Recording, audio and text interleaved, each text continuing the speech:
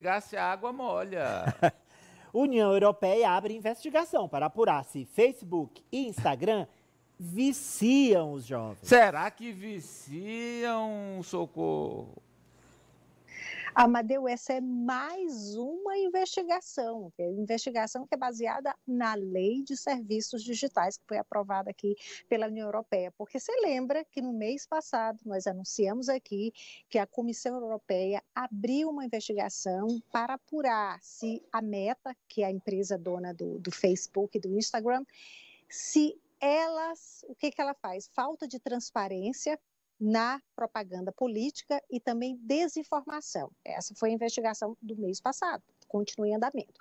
A investigação que foi anunciada hoje é essa aí que o Ari falou, é para saber se essas plataformas viciam as crianças.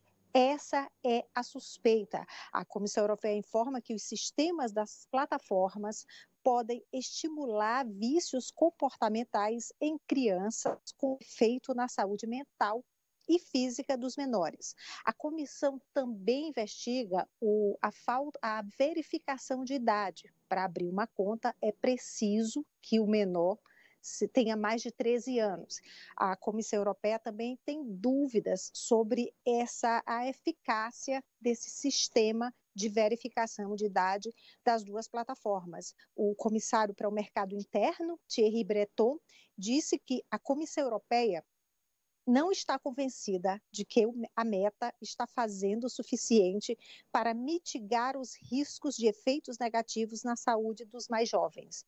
De acordo com a lei, essa lei estabelece punição que vai aí de uma multa de até 6% do volume global da empresa, até total proibição de atuar nos países da União Europeia, isso se for uma infração considerada grave e recorrente. Amadeu.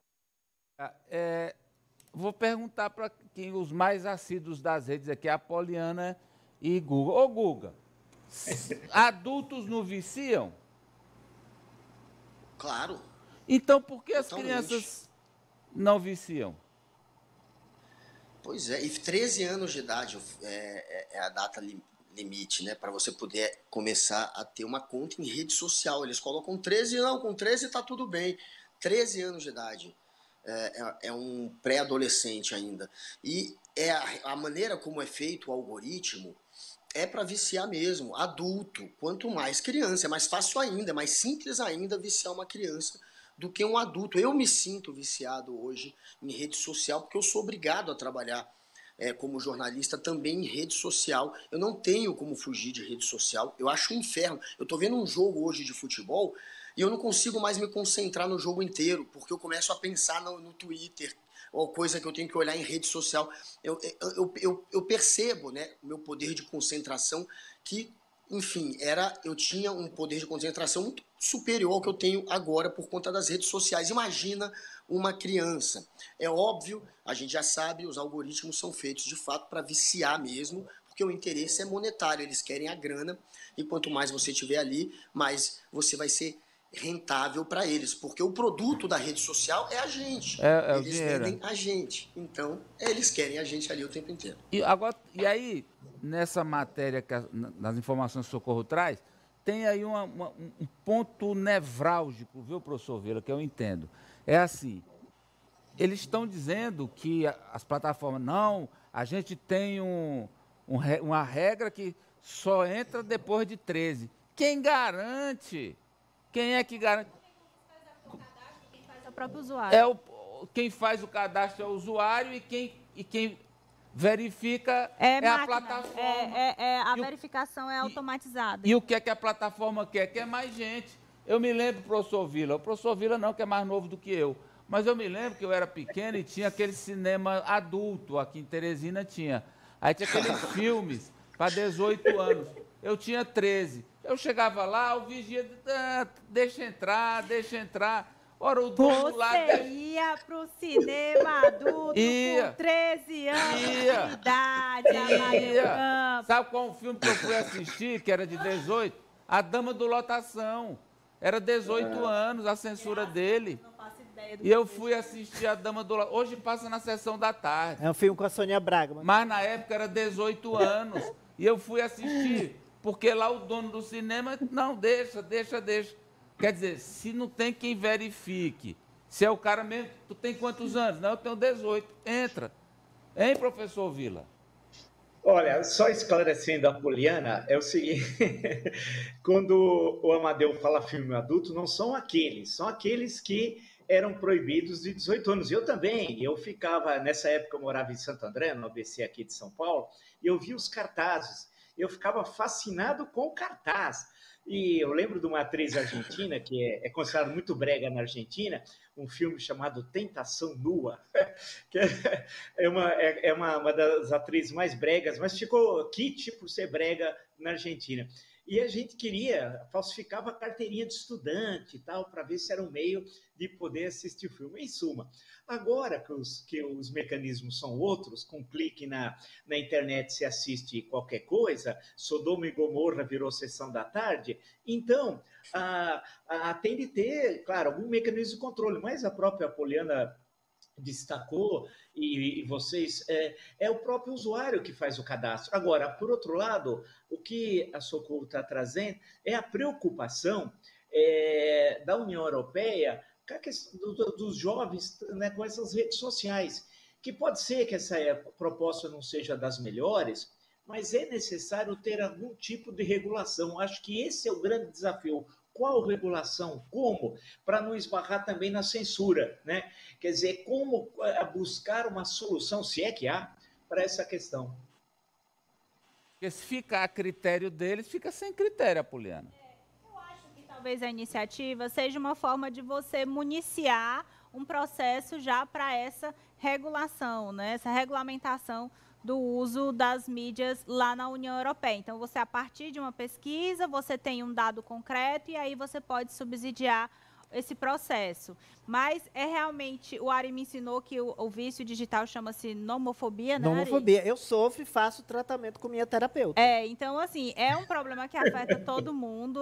O celular, o, o computador virou extensão do nosso corpo e é muito mais prejudicial para as crianças, porque hoje ele está sendo uma ferramenta até mesmo de o pai está ali, está cansado do trabalho, a criança ah. quer atenção e às vezes se empurra um celular sem nenhum tipo de monitoramento. É um assunto a, bem complexo. Ariamarra indicando... Gente, gente não é brincadeira. Eu sofro de nomofobia. Olha, a USP tem estudos sobre o tratamento de nomofobia. A Organização Mundial de Saúde já reconheceu como uma espécie de adicção de vício, né? Para ser mais simples. A nomofobia. Eu faço com a minha terapeuta, tenho sessão hoje às 5 da tarde, a doutora Cleonice, e eu tenho controlado melhor. Deixa eu só ver aqui uma montagem que fizeram. Ele tem controlado melhor. É, eu bastante, viu, Ari? Ô, Socorro, As fala, sessões. Socorro. Fala, Socorro. Alô, doutora Cleonice, vamos aí aumentar as sessões do Ari. É verdade, verdade. Vamos lá com a, a, o Papa e o, é, é, o benzimento de camisas autografadas por craques e jogadores nem tão bons assim. Vamos lá. Camisetas autografadas por Neymar, Messi e Mbappé são abençoadas pelo Papa. Serão leiloadas com renda para desabrigados no Rio Grande do Sul. Socorro. É, Amadeu, isso aí aconteceu ontem, no final daquela já famosa né, audiência de toda quarta-feira no Vaticano com o Papa Francisco. E na audiência de ontem, o Papa saudou uma delegação brasileira, uma delegação que era liderada por um padre brasileiro, um padre do Rio de Janeiro, Omar Raposo. E o padre levou com ele essas três camisas que a gente vê aí, são todas camisas de um time de futebol da França, o Paris Saint-Germain, e todas assinadas por jogadores, por craques ou não. Aí você decide, Amadeu. Tem aí a assinatura do craque argentino, o Messi, não, o do brasileiro Royal... Neymar e do francês Mbappé o Papa pensou a camisa, as camisas, as três camisas, o site do Vaticano já publicou que elas serão leiloadas na internet, em breve, em canais oficiais que serão anunciados com antecedência e que o dinheiro será doado para as vítimas das enchentes do Rio Grande do Sul. O, o site do Vaticano diz, inclusive, que mais detalhes com o Instituto Cristo Redentor, em que o Padre Omar é o diretor, que vai providenciar, que, que está, que é o responsável pelo o leilão. Então, eles vão dar mais detalhes. E essas camisas, Amadeu, foram doadas, eram de uma coleção pessoal de um casal do Paraná, esse casal que está aí ao lado do, do Papa, é, aliás, ao lado do padre, é um casal do Paraná que doou as camisas de uma coleção particular, Amadeu. Coisa boa, meritória. Vamos agora para essa manchete que é, impactou. É aquele, não, mas não, é o momento. Atenção, você que tem estômago fraco, não. Tá almoçando? É, é você se afasta um pouco aí da, da televisão por uns cinco minutos. Vai lá. Ari. Tira as crianças, inclusive, para não dar ideia. Vai, Ari. Muita cerveja com chucrute. Será? Político alemão lambe privada não. em banheiro público. Não. E vídeo viraliza. Não. Não, Ari, não é possível isso. Meu Deus. Não, e não é só isso. É aquela morre e não vejo tudo. Não só isso, tem muito mais. Tem mais? Vamos começar aí por, por esse vídeo. O partido dele é, é, o PQP. Martin. É o é, FDP. Não! É o. É, olha isso aí. É o olha Martin Neumeier. Ele é do partido. Partido Democrático Livre da Alemanha, um partido de centro-direita. Nesse vídeo aí, que ele postou nas redes sociais, ele lambe o mictório, depois ele lambe, a gente vê um vaso sanitário. Não contente, ele termina lambendo aquela, aquela escova que limpa o vaso sanitário. Isso aí aconteceu, ele não identificou o local exato, mas quem conhece, a gente sabe que isso aí provavelmente é no banheiro de uma estação de trem na Alemanha. Depois disso aí, Amadeu, o vídeo foi retirado da, das principais redes sociais. Logo depois, ele publicou Socorro. uma outra foto dele, Socorro. ele nu. Socorro. Me desculpa lhe interromper, é que a gente, é, é, a gente já fez uma seleção das imagens que tem mais. Ó, oh, minha gente, vocês não fazem ideia, tem mais muito mais. Eu tô virada, que eu graves. retorno de vídeo ali, eu não quero Não, tem imagens muito mais vomitativas do que essas aí. A gente tá pegando leve. Separou assim o que dava, mas mesmo o que dava é muito chocante. Então, vamos deixar. Mesmo que, mesmo deixa que só a foto dele. Mesmo que dava, não tá dando. Vamos combinar uma coisa aqui, é, Brígida. Vamos deixar só uma foto dele e a Socorro narra as atrocidades é, cometidas por ele. Vamos lá, vai. Socorro. É porque depois desse vídeo, Amadeu, ele publicou uma foto. Eu não sei se a gente vai exibir essa foto. Não, deixa para lá. Vamos nu, só falar. Tá, ele está pelado. Meu Deus. E ele está coberto com as fezes, as fezes próprias. Ele colocou por todo o corpo e publicou nas redes sociais. Ele também chegou a fazer um bigode do Hitler com as fezes, com as próprias fezes, ele fez uma espécie de bigode de Hitler. E entre outras coisas, como vibrador com fezes, cantando o hino da Alemanha da era nazista, vibrador com fezes em cima do Alcorão, que é o livro sagrado para os muçulmanos, dizendo que iria estuprar as mulheres do profeta.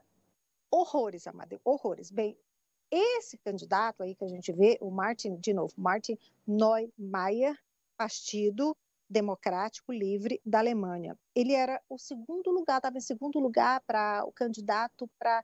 No Brasil seria vereador de uma, de uma cidade perto de Stuttgart, a cidade de Allen, uma cidade grande, com 70 mil habitantes. As eleições locais acontecem no próximo mês. Ele estava em segundo lugar nas pesquisas. O partido dele já retirou a candidatura, já retirou o nome, disse que abriu uma investigação e para apurar exatamente o que, levou ele a fazer isso, provavelmente o partido vai expulsá-lo. O, o, o, próprio candidato, o político, Amadeu, ele ainda não se manifestou, ele não disse por que, que fez isso, o que, que aconteceu. Mas ele não é o primeiro a fazer isso. Teve um que fez pior. Foi um, no mês passado, um político também seria o equivalente a um vereador no Brasil, o vereador Daniel Gomes del Bairro, da cidade de Biescas, é uma cidade com 30 mil habitantes, perto de Madrid, que aí ele estava, eu não sei se eu posso falar, ele estava comendo nu, a foto, ele nu, comendo fezes. Essa foto dele viralizou, esse aí seria um fetiche, provavelmente, e o candidato espanhol precisou, teve que renunciar. Amadeu. Eu não consigo comentar sobre esse caso, porque eu realmente eu desviei minha atenção para outro lugar no universo, porque eu não posso pensar nisso. É muito Ai. nojento. Olha, eu lembrei, o professor vai, deve conhecer esse livro, já leu, eu li, professor, fiquei muito impressionado durante meses, que é os 120 dias de Sodoma, do Marquês de Sade. É disponível, qualquer livraria tem, mas ainda hoje é proibido em dezenas de países. É o livro, né? E também os, os filmes da série Jackass, também tem foto de atriz comendo fezes de cachorro na calçada. Escatologia, ah. né? Escatologia. Mas na política? Ah, sim. Não tem a necropolítica? Então, tem a. Não estou pronta para isso. Zer da política. Professor Vila, professor. Olha, é, Amadeu, é difícil até comentar, né? Mas é, é para mostrar que as barbaridades que nós Ô, professor. aqui no Brasil. Oi. O cara fazer um bigode do Hitler com fezes. Aí não. Aí é... não. Não, então veja que no Brasil é, nós temos barbaridades, também tem todo mundo, né? E as redes sociais acabam fazendo que aquilo que ficaria restrito a uma pequena cidade vira um assunto mundial, né? Hoje, o Humberto Eco já tinha falado isso, né? O idiota do quarteirão é, vira idiota mundial agora, aquele que fala uma bobagem ali na esquina, como nós ouvimos tantas vezes, né? Então é uma coisa absurda. E claro que o partido ele vai estar fora da eleição tal, mas olha, no mundo que vivemos, pode ser que alguém considere ele, não sei, um símbolo sexual, uma celebridade, né? um influencer. Eu adoro a expressão influencer. Né? Nunca se sabe. Vamos lá, Guga. É, pois é, é a gente está vendo aqueles que querem entrar na política usando as redes sociais, né? Tentando lacrar pelas redes sociais, chegando a um extremo agora. Porque tem nas redes sociais, na internet, esse tipo de jogo de lamber privadas públicas. Eu não sabia que ele tinha chegado tão longe, né, a ponto de fazer um bigode com fezes, mas esse tipo de jogo, entre aspas, de você lamber privada, ele não é o primeiro a fazer isso. Isso virou um jogo da internet, da rede social. Tem um monte de gente repetindo isso, de influencer, como falou Vila, também fazendo isso.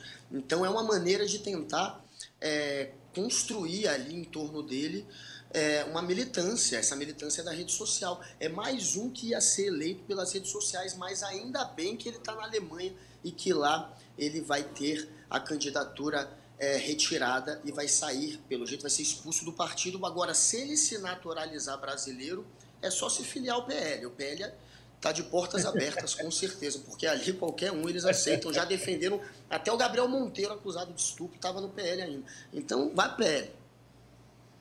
Vai pro PL? Por que o PL, Ari? É eu acho que o Google está fazendo analogia, né? Partido com o partido da escatologia. Queria registrar, Madeu, o deputado estadual pelo Ceará, André Não, Fernandes. ele agora é o deputado federal, André É, Fernandes. federal. É do, é, é do ele, Mas na época ele era. Ele, não, ele, ele era estadual. Ele fez. Tem uma foto aí do André Fernandes? Tem. É, por favor, Brígida. O André Fernandes é o deputado cearense que propôs a CPI da pandemia e tal. Ele se notabilizou como, Ari? Bem.